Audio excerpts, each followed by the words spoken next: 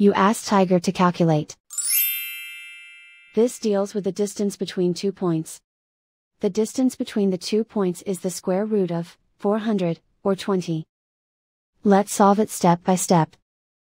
Plot the two points and calculate the distance using the formula.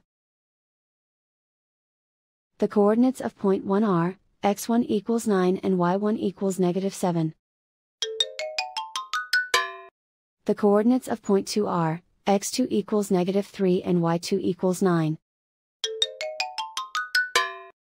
d is the distance between the two points.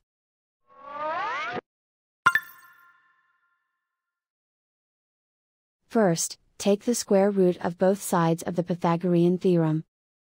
This gives us the distance formula.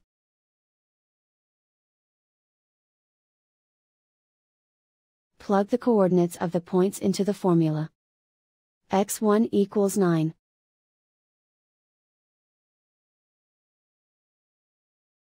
x2 equals negative 3.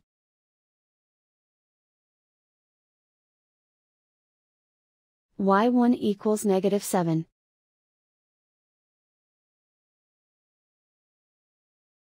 y2 equals 9.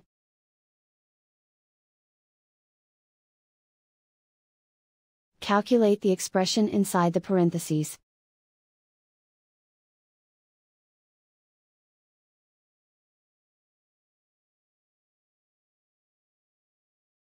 Simplify numbers raised to exponents.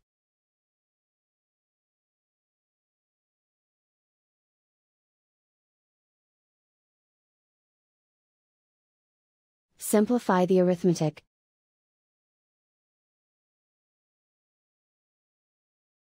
And so the distance between the two points is the square root of 400, or 20.